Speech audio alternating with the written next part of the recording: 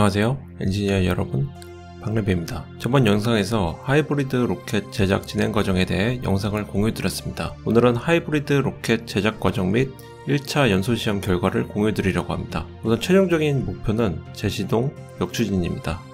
로켓의 엔진 점화는 시동 엔진이 있어야 합니다. KNSB로 만든 로켓의 경우도 도화선이나 열선으로 가열합니다. 최근 BPS Space도 이런 식으로 점화를 하고 있습니다. 누리호의 경우 고체 로켓 방식인 pyro 엔진도 비슷한 방식인데 일회용이라 재시동이 불가능합니다. 따라서 토치 방식을 사용하면 되는데 SpaceX도 토치 방식을 이용한다고 합니다. 저는 부탄가스와 산소를 이용해서 재시동용 토치를 만들 겁니다. 역추진을 하려면 throttling이 필요합니다. 고체 연료와 액체 연료의 큰 차이는 throttling 가능 여부입니다. 보통 BLDC나 DC 모터를 사용한 유량 제어를 하는데 저는 간단하게 서보 모터를 이용해 throttling을 해주려고 합니다. 잠깐 여기서 표현한 시간은 유부남 기준 한두 시간입니다. 여러분 저는 행복합니다. 우선 테스트 베드 프레임을 제작해줍니다. 저는 2020 알루미늄 프로파일을 이용해서 만들었습니다. 이제는 다들 잘 사용하시는 것 같아서 빠르게 넘어가도록 하겠습니다.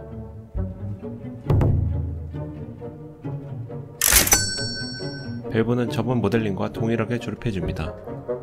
제가 스텐 파이프 밸브 시스템을 구축해본 경험이 없어서 그런지 잘 조였다고 생각했는데도 계속 압력이 새는 현상이 있었습니다. 길이 조절 시 절단은 파이프 커터를 이용하시면 됩니다. 군대에서 딴 항공기 기체 정비 기능사 자격증이 이렇게 활용됩니다. 여러분도 파이프를 자르시려면 항공기 기체 정비 기능사부터 따시기 헛소리 하지마 임마 나사산이 있다면 테프론 테이프로 열에서 20바퀴 정도 감아주면 됩니다. 산소 탱크 주둥이에 더럽게 비싼 압력 레귤레이터를 설치합니다. 각종 밸브 연결, 압력 센서도 곳곳에 연결합니다. 가스 on off를 제어해주는 솔레노이드 밸브와 역류를 방지할 체크 밸브도 함께 연결해줍니다. 부탄가스는 압력이 크지 않아 테프론 호스로 연결해줬습니다. 나사산과 튜브를 연결할 수 있는 커넥터를 사용하시면 됩니다. 엔진 가공 외주를 맡겨놨는데 2주가 소요된다고 해서 미리 3D 프린터로 같은 사이즈의 챔버를 만들어줬습니다. 오기 전까지 토치를 테스트해보려고 합니다. 3D 프린팅 챔버에 점화 플러그를 꽂아줍니다. 산소와 부탄을 공급해줄 커넥터를 연결합니다. 압력 챔버도 연결해주겠습니다. 이전에 연결했던 밸브 assy와 연결해줍니다. 산소 밸브를 열어주고 산소를 체크합니다. 챔버 커넥터와 부탄 솔레노이드 밸브와 연결해줍니다. 점화 플러그를 작동시키려면 고전압 generator가 필요합니다. 근데 불, 난. 부탄 솔레노이드 밸브와 점화 플러그를 동시에 작동시켜 봤습니다. 정확한 원인은 모르겠습니다만 12V를 사용해서 그럴 수도 있습니다.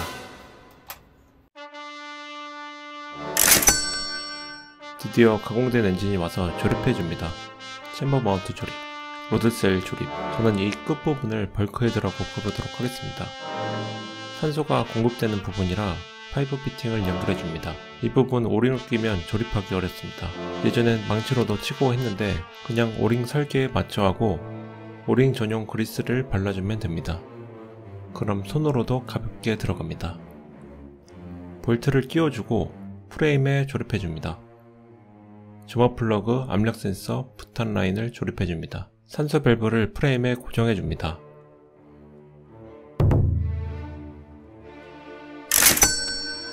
실리콘 시트 커팅, 인덕션 온 코어를 형성해줄 알루미늄 파이프에 이형제를 발라주면 탈형하기 정말 편합니다.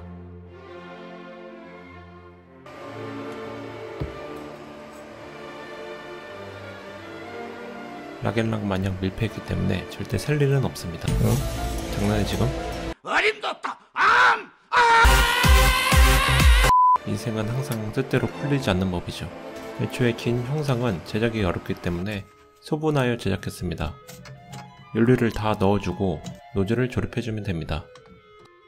간단하게 부탄하고 산소만 넣어 조립했습니다. 저는 사실 이런 느낌만 나올 줄 알았어요. 하지만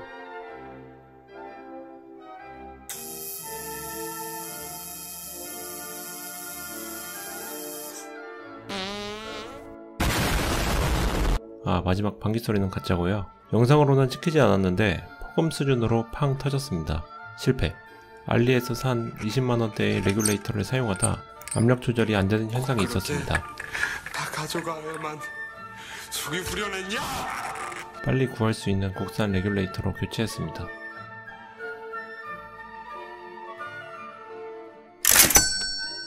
꽤 걸렸죠?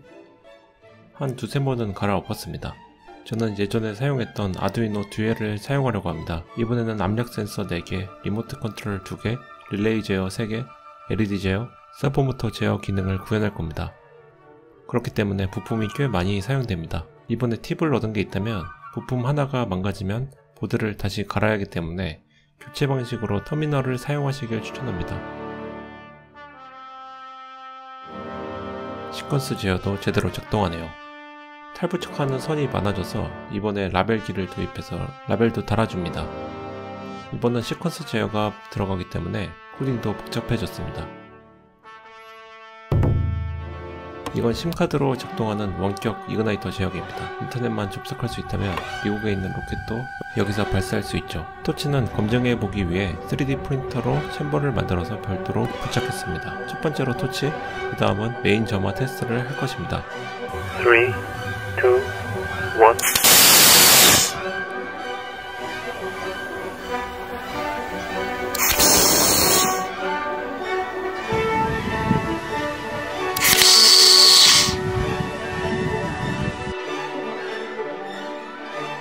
메인 점화는 도화선과 KNSB 조합으로 점화시켰습니다.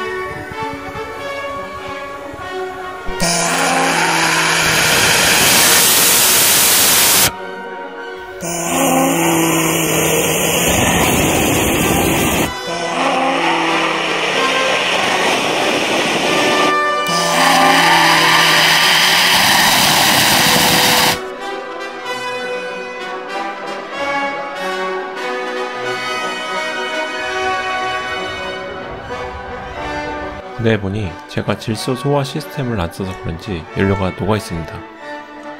근데 20mm 기준으로 제작했는데 최종 지름은 22mm로 고작 2mm밖에 연소를 안 했네요. 토치 같은 경우는 챔버를 3D 프린터로 제작했는데 1초밖에 연소를 안 해서 그런지 생각보다 많이 타지는 않았습니다. 우선 추력과 압력을 실시간으로 계측하고 있었는데 계측 중 셧다운이 되면서 데이터를 날렸습니다. SD카드로 할걸. 국산 압력 레귤레이터도 15바까지 만들 수 있을 줄 알았는데 10바 이상 올라가지 않아 연소압이 부족했습니다. 그래서 영상에서도 끊기면서 연소되는 것을 확인할 수 있습니다. 토치는 성공. 토치도 작은 로켓으로 설계를 해야 합니다. 부탄 9바에 산소 15바 기준으로 설계하니 제대로 연소되었습니다. 메인 연소도 이 추세로 간다면 성공할 것입니다.